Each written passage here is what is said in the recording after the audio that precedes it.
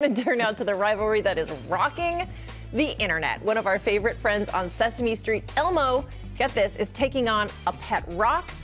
Chris Connelly, please break this down. And I am told to ask you, are you Team Elmo? Inquiring minds want to know.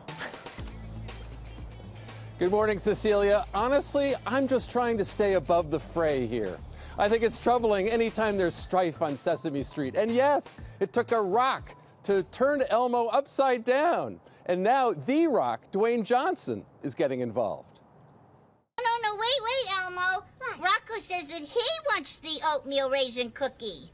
He's mad as Elmo, and he's not going to take it anymore. Rocco? Rocco's a rock, Zoe. Rocco won't know the difference. This week saw the online universe captivated by the hot blooded beef between the Sesame Street superstar and his friend Zoe's pet rock, named Rocco. You can't have that cookie, Elmo. Rocco wants to eat it. How? How is Rocco going to eat that cookie, Zoe? Tell Elmo. Rocco doesn't even have a mouth. Rocco's just a rock. Rocco's not alive. Just one oatmeal cookie, enough to take cheerful Elmo from just being red to seeing red, Rocks don't do much. They just sit there. You mean like Rocco? and leaving some to wonder can a Muppet be gaslighted? I'm sorry I'm late, but Rocco had to go to the party. What? Elmo vs. Rocco dates back to 2004 when this storyline first aired on Sesame Street. Oh, boy, Rocco, isn't this exciting? No surprise in this stressful time Rocco! Rocco's a rock, Zoe! how memes and TikTok turbocharged Elmo's envy and exasperation across social media. Perfect for right now. Well, because Rocco is just a rock, Zoe. On Wednesday, Elmo, perhaps trying to dull the sharpness of his rock hater scissors, Mm, are you okay? Are you okay? Oh, boy.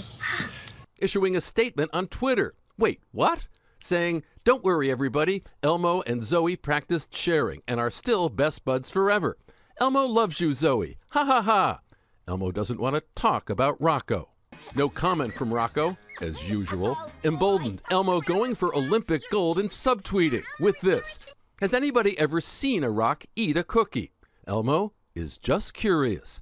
And that's when Dwayne Johnson entered the chat. Yes, my friend, he responded on Thursday. This rock devours cookies.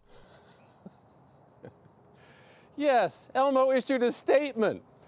I, I don't think we've heard the last of this yet, guys. No, they're stuck between a rock and a hard place, Chris. Oh. Thank you. Well, hey there, GMA fans. Robin Roberts here. Thanks for checking out our YouTube channel. Lots of great stuff here. So go on, click the subscribe button right over right over here to get more of awesome videos and content from GMA every day, anytime. We thank you for watching, and we'll see you in the morning on GMA.